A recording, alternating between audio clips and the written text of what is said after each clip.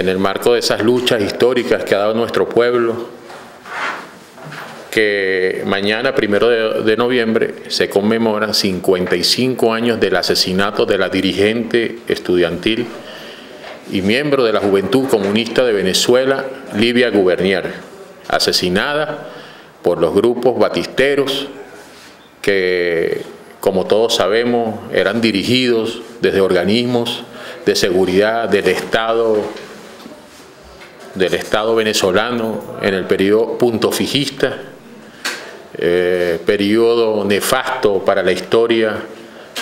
de las luchas del pueblo venezolano, donde se empezaron a promover y a generar asesinatos contra dirigentes políticos, dirigentes obreros,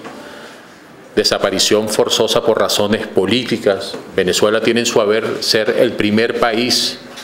con la figura de la desaparición forzosa por razones políticas en el gobierno de Raúl León, un gobierno betancurista. Y todo ese conjunto de acciones contra el pueblo venezolano, los asesinatos, las desapariciones, las persecuciones, torturas, y por supuesto que frente a esas acciones el pueblo venezolano, nuestro partido, el Movimiento Popular, en ningún momento dejaron de levantar las banderas de la liberación nacional, de la lucha contra el imperialismo, de la lucha contra el entreguismo que sostuvieron los gobiernos puntofijistas. En estos días se conmemoró en la sede de nuestro partido igualmente los 51 años del secuestro y asesinato de nuestro camarada Alberto Lovera, también asesinado por los organismos de represión del Estado venezolano, un Estado represor,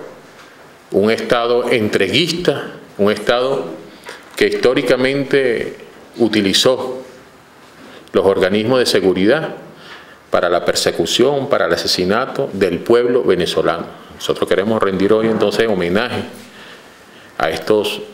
camaradas que en ellos se expresa y se simboliza un gran número de venezolanos y venezolanas que entregaron la vida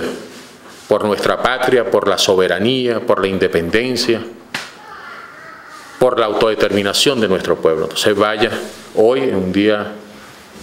como hoy, desde el Partido Comunista de Venezuela, el homenaje